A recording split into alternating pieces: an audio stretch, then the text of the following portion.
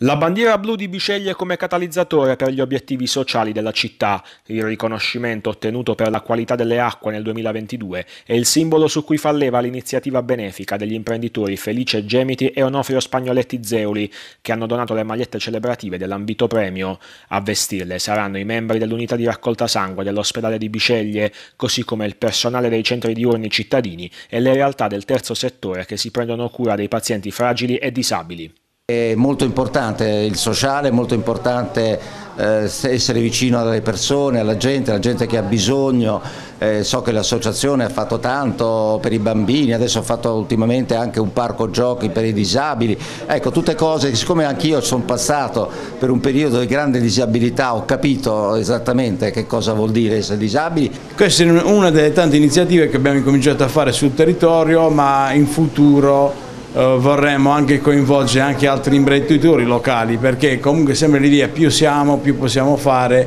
adesso stiamo portando su Biceglie per cui accogliamo anche altri soci nella nostra associazione. Non solo chi fa parte del settore sanitario e dell'assistenza, ma anche i rifugiati ucraini che si sono stanziati a Biceglie dopo essere fuggiti dalla guerra, avranno a disposizione le t-shirt della bandiera blu, solidarietà, condivisione, ma anche marketing territoriale grazie all'amministrazione comunale, con in testa il sindaco Angelo Antonio Angarano e l'assessore Gianni Naglieri. Queste magliette sono un, un, dono simbolico che chiaramente offriremo a tutte le associazioni eh, bicegliesi eh, che eh, dimostra di come marketing territoriale, il marketing territoriale si fa anche con, con, la generosità e soprattutto con il coinvolgimento e le sinergie tra attori pubblici e privati, quindi un bel esempio di eh, sinergia oggi e, e di grande eh, sensibilità istituzionale da parte di tutti.